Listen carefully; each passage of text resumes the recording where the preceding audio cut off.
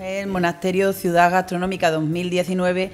y su primer intercambio gastronómico. Hay unas fechas claves que quiero que, os apuntéis y que a nadie se le escapen. 21 de noviembre, un intercambio eh, gastronómico con cocineros portugueses en la zona lentellana, en Elvas, Portugal.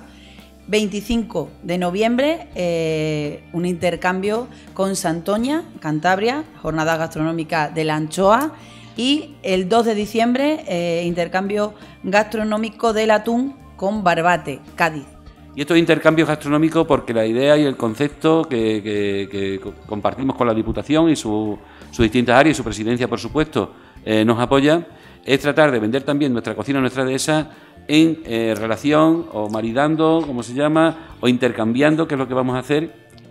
con tres puntos importantes de España. Como estáis viendo, eh, han sabido muy bien aprovechar desde el Ayuntamiento de Monesterio eh, este título de Ciudad Gastronómica 2019 y darle un empuje a sus productos que todos ya conocemos, ese jamón ibérico de, bellota maravilloso que tienen en, Monesterio y además van a darle también este impulso con estos otros productos gastronómicos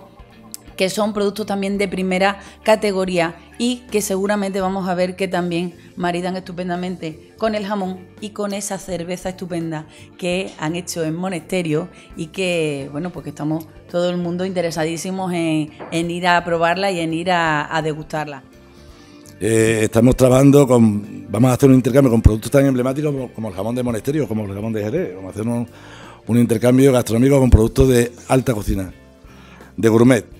y le pido a los alcaldes de, toda Extremadura que inviertan en gastronomía, que es una de las mejores inversiones que se puede hacer en estos momentos.